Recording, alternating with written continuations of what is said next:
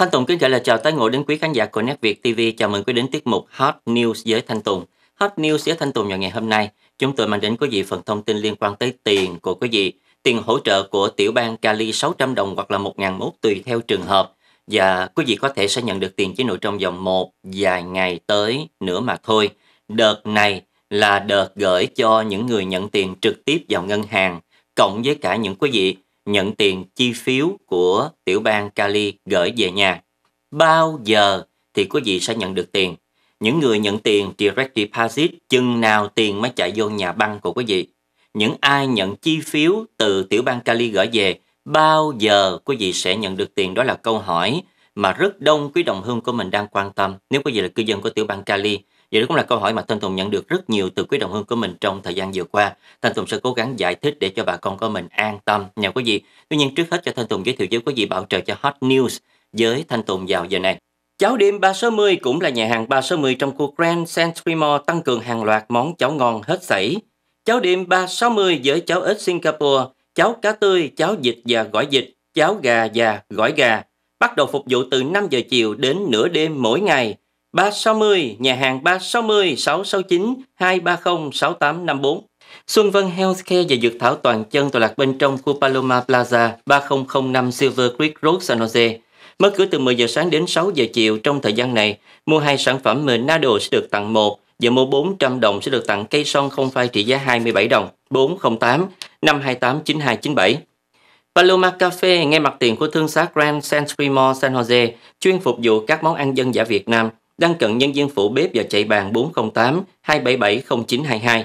TN Karaoke có gì muốn có dàn karaoke mới hoặc cũ muốn đổi máy hư thành máy mới, gọi anh Đoan Nguyễn 408 223 2300 hoặc vào trang nhà tnkaraoke.com. An Khang Mì Gia trong khu thương mại Vietnam Town San Jose mở cửa từ 9 giờ sáng đến 7 giờ tối đóng cửa thứ tư hàng tuần 408 217 9496. Thông báo của công ty Ly gửi tiền lẻ và Ly gửi quà Hiện tại Sài Gòn đã bỏ lệnh phong tỏa, dịch vụ vận chuyển hàng sẽ nhanh hơn và được giao tận tay người thân của quý vị. Dịch vụ chuyển tiền tại Sài Gòn đã trở lại bình thường, nghĩa là tiền sẽ được giao trong vòng 24 giờ tùy theo quý khách lựa chọn chuyển vào tài khoản hoặc giao tận nhà. Ly gửi tiền lẻ trên đường Tholi Road 408 270 1027. Ly gửi quà trên đường Avon Road trong khu chợ Maxim 408 528 6789. Ly gửi quà Milpitas trên đường Capitol Avenue chung khu thương mại với chợ Mekong, tức chợ đại chúng cũ 408 586 9999. TNT Orchids trong khu thương xá Grand Century Mall San Jose, với rất nhiều loại hoa lan tuyệt đẹp được chăm sóc bởi bàn tay của chủ nhân am tường về hoa lan. Có một nursery lớn với đủ loại cây ăn trái độc đáo 408 396 7773 hoặc 408 568 7367.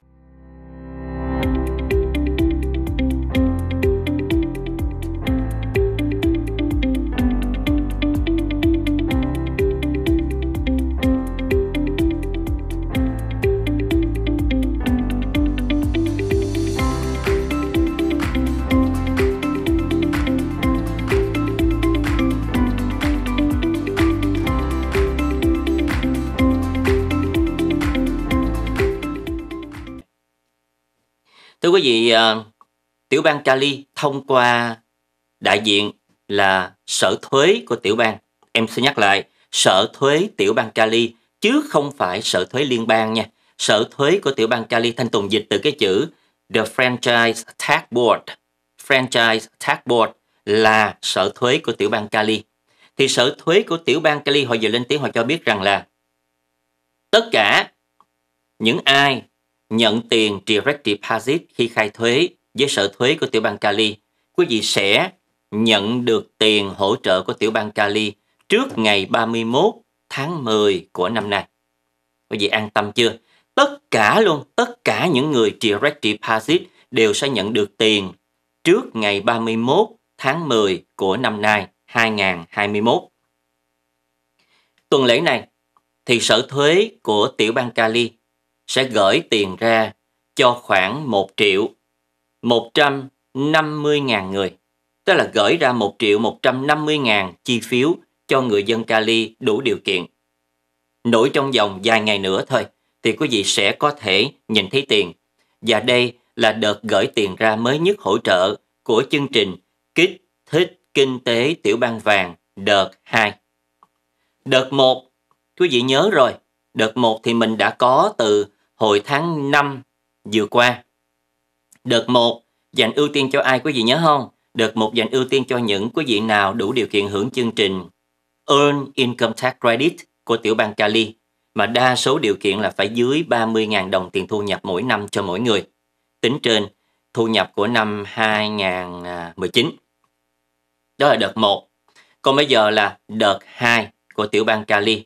Đợt 2 đó thì điều kiện rộng rãi hơn, dễ dàng hơn dành cho người dân Cali.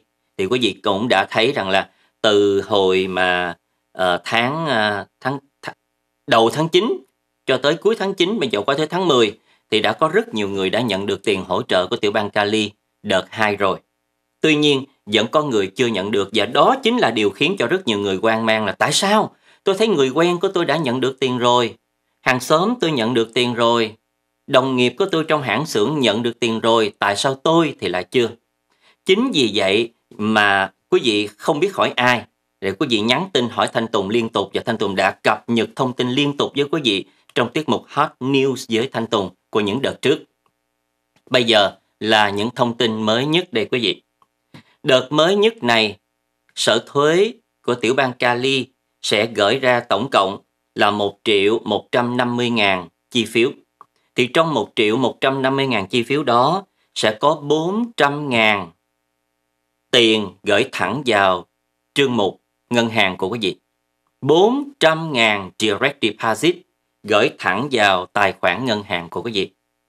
Và những ai mà nhận được tiền direct deposit thì lưu ý dùm Thanh Tùng là 400 ngàn payment vào tài khoản ngân hàng lần này á, sẽ được gửi ra vào ngày 29 tây tháng 10. Gửi ra vào ngày 29 tháng 10. Nhưng quý vị số có thể phải đợi khoảng vài ngày. Vài ngày mà người ta nói là vài ngày business. Tức là những ngày trong tuần á, phải đợi vài ngày trong tuần thì tiền nó mới vô tới tài khoản ngân hàng của quý vị. Không phải có nghĩa rằng người ta ra tiền ngày 29 tháng 10 là ngay lập tức quý vị nhìn thấy tiền của quý vị trong ngày 29 tháng 10. No way. No way Jose.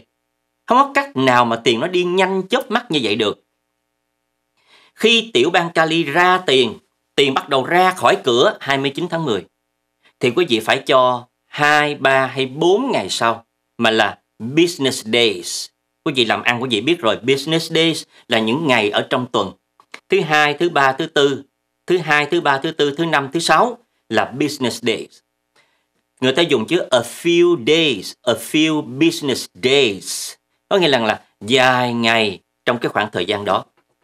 29 tây là thứ mấy? 29 thì tháng 10 là thứ sáu. Đúng không? Thứ sáu tiền ra. Thì người ta nói với mình là dài ngày sau tiền mới tới. dài ngày đó không tính thứ bảy chủ nhật. Đúng không? Business days mà. dài ngày đó không tính tới bảy chủ nhật. Thành ra thứ sáu mà tiền ra thì quý vị phải tính bắt đầu từ thứ hai, thứ ba, thứ tư của tuần sau. Tiền mới chạy vô tài khoản ngân hàng của quý vị. Mà Thanh Tùng nhớ đã có giải thích với quý vị rồi tại sao lâu như vậy. Tại vì tiền ra là một chuyện, nó mới chạy tới ngân hàng nơi mà quý vị có tài khoản. Tiền vô ngân hàng trước, rồi từ ngân hàng mới rót xuống tài khoản ngân hàng của quý vị sau.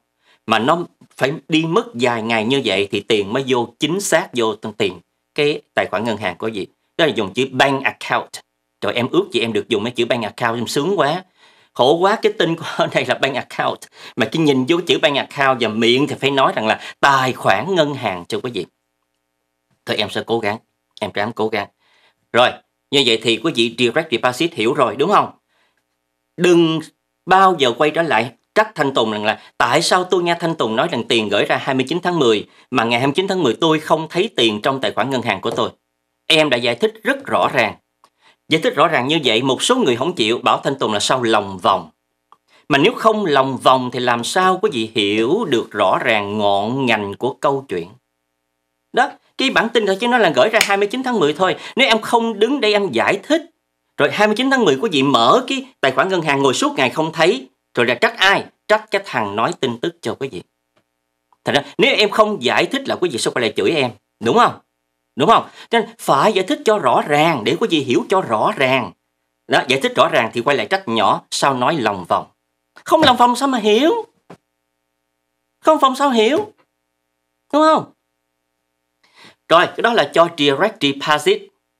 Bây giờ, em quay sang tới những quý vị nào mà nhận direct deposit thì hiểu thêm dùm cho em một điều nữa. Tiểu bang Cali nói rằng là đây sẽ là đợt cuối cùng họ gửi tiền ra cho những người hưởng qua chương trình direct deposit. Đây là đợt cuối cùng, 31 tháng 10 kết thúc. Sau 31, 31 tháng 10, tháng 10 không còn direct deposit nữa. Sau ít phút quảng cáo, Thanh Tùng sẽ trở lại giải thích tiếp để quý vị hiểu thêm câu chuyện tiền bạc của mình. Quý vị nhớ đón xem.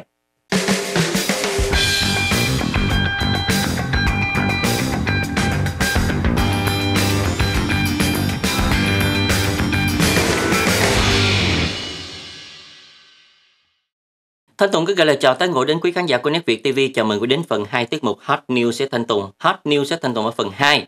Chúng tôi tiếp tục giải thích quý vị nghe tiền gửi về cho quý vị đợt mới nhất của Sở Thuế Tiểu bang Cali tiền hỗ trợ. Đợt 2. Đợt này thì tất cả những người nào mà direct deposit 100% gần như quý vị sẽ nhận được tiền. Kết thúc vào ngày 31 tháng 10. Để rồi sau đó là dành ưu tiên cho những người mà nhận tiền qua hình thức là chi phiếu gửi qua đường bưu điện về nhà cho quý vị. Tuy nhiên, trước hết cho Thanh Tùng giới thiệu với quý vị bảo trợ cho Hot News với Thanh Tùng vào giờ này.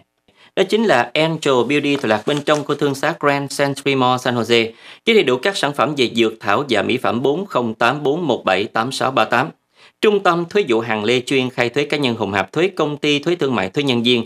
Địa chỉ 621 Tolly Road, San Jose, phòng A125 bên cạnh Hồng Minh Travel 4082795843 Nhà hàng phở 90 độ kể từ nay bà con mình có thêm địa điểm ăn khuya San Jose.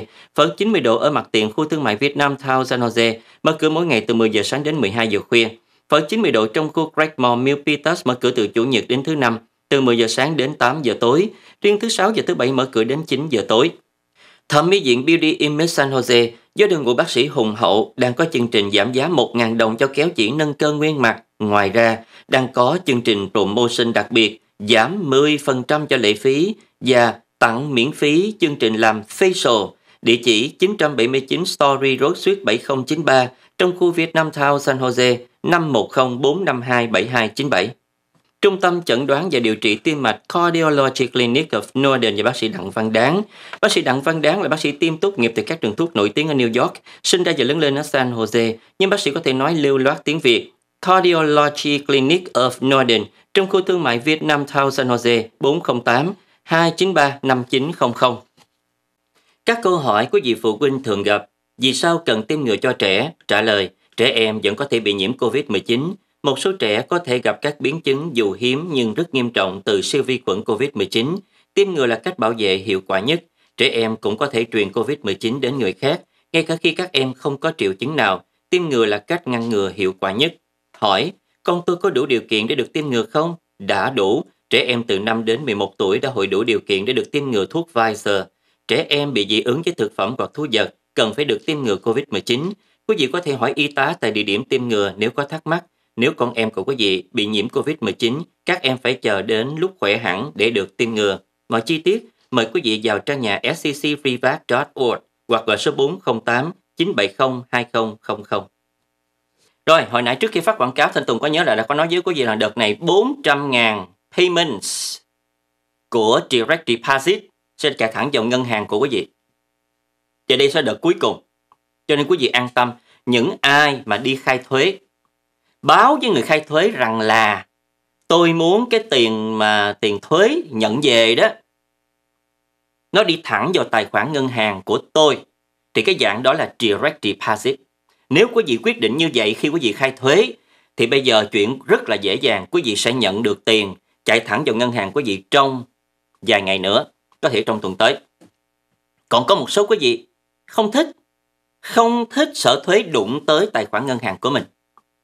Quý vị nhớ không? Quý vị báo với cái người khai thuế rằng là à, tôi năm nay, cái người khai thuế nói với quý vị rằng là cô chú ông bà năm nay khai thuế sẽ được lấy về. Thí dụ thôi, lấy về khoảng ngàn rưỡi, hai ngàn thì cô chú ông bà có muốn sở thuế gửi thẳng vào tài khoản ngân hàng của cô chú ông bà hay không? Thì nếu cô chú ông bà nói rằng không, tôi không muốn họ đụng tới tài khoản ngân hàng của tôi, làm ơn gửi chi phiếu về cho tôi. Thì quý vị đã nhận được chi phiếu của sở thuế gửi về rồi, đúng không? Thì chính quý vị là người lựa chọn chi phiếu gửi về nhà. Cho nên lần này cái tiền hỗ trợ họ cũng làm theo exactly điều mà quý vị muốn. Thành ra lần này thì chi phiếu hỗ trợ cũng đi theo cái hình thức bưu điện về nhà.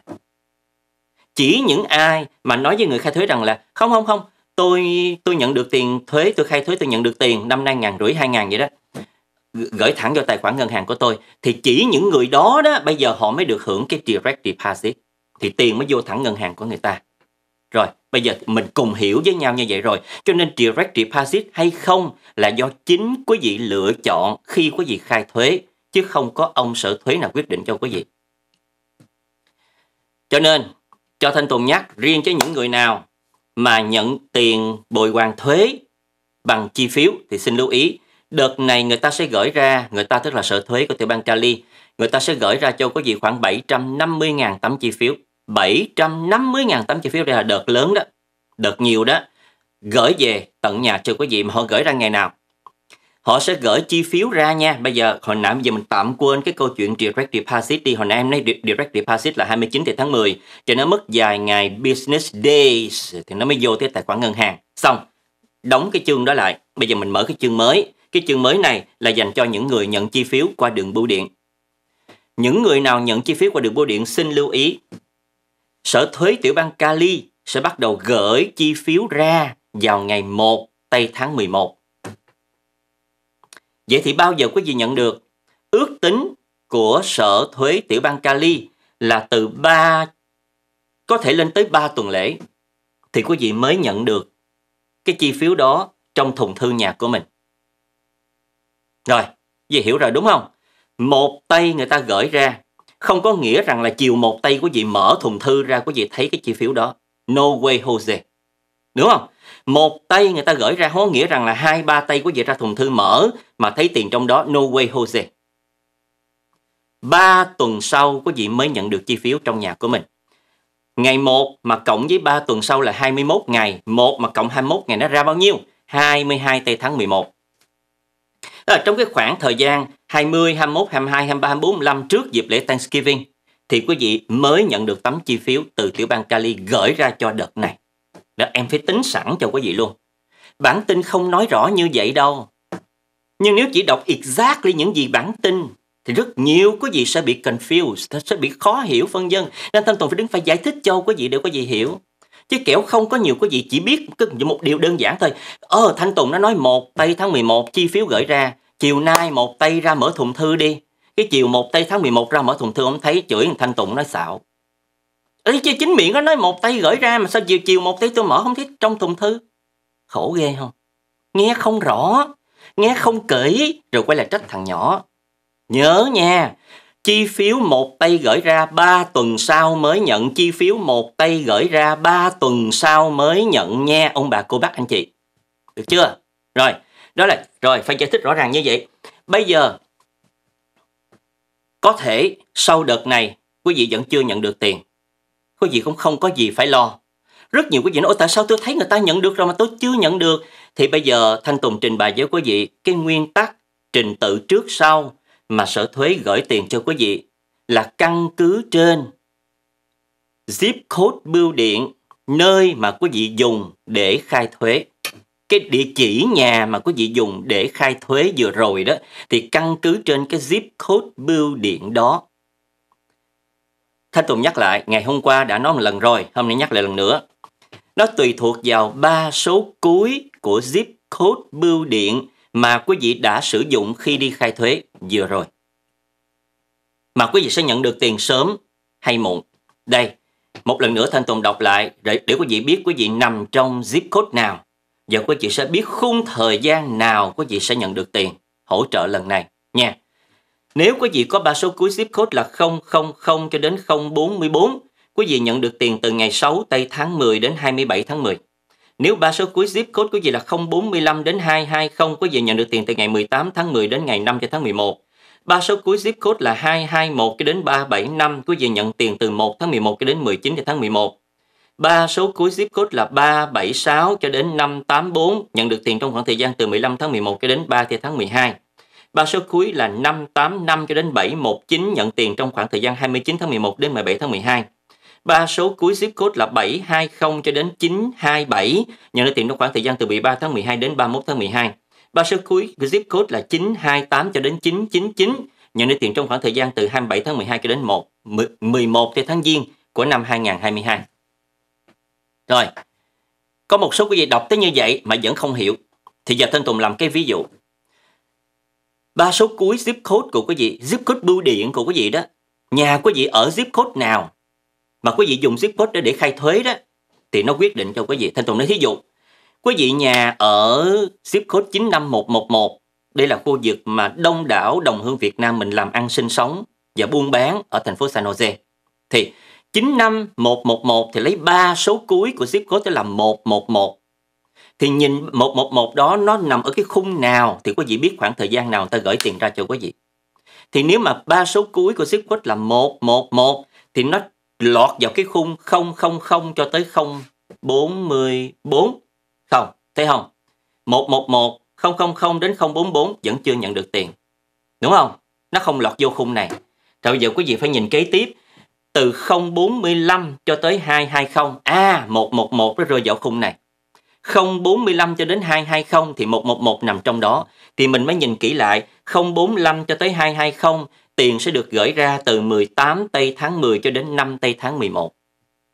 Đó, thì mình chỉ cần biết ba số cuối zip code của mình thì mình nhìn vô cái khung thời gian này mình biết được rằng là bao giờ người ta gửi tiền ra. Cho Thanh Tùng nhắc, cái ngày gửi tiền ra là một chuyện, ngày quý vị nhận được tiền là chuyện khác.